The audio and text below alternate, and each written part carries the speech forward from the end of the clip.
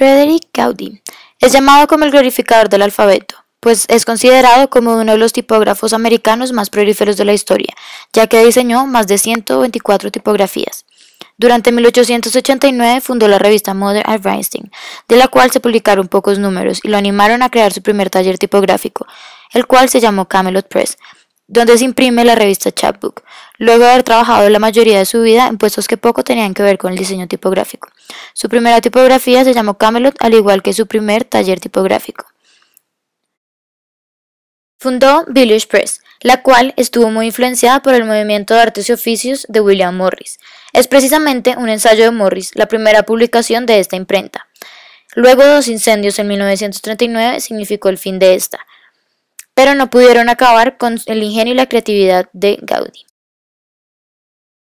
Otros trabajos importantes de Frederick Gaudí son el desarrollado a la Universidad de California, el cual era una tipografía que mejoraría la legibilidad y se llamaría Cali Old Style.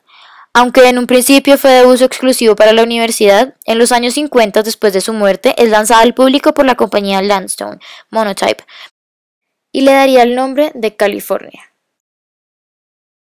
Además, editó revistas como Ars Tipográfica y su libro más importante, The Alphabet Elements of Learning.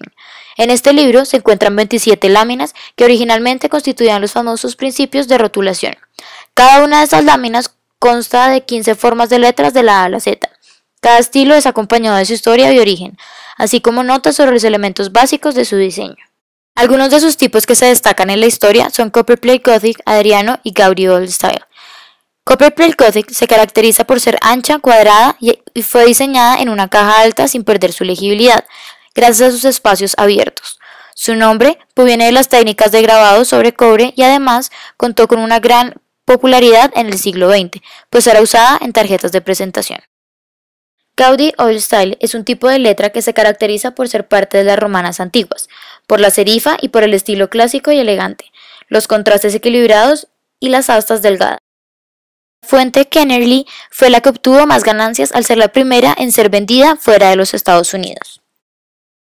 Todo el desarrollo tipográfico que fue mencionado anteriormente de Gaudí ocurre durante diferentes e importantes hechos históricos, los cuales de una manera u otra ayudaban a la evolución de su trabajo como la revolución industrial y los aportes que trajo con ella, como la máquina pantográfica creadora de matrices. Otro hecho importante fue la Primera Guerra Mundial, que a diferencia de la Revolución Industrial, debilitó su invención de tipos.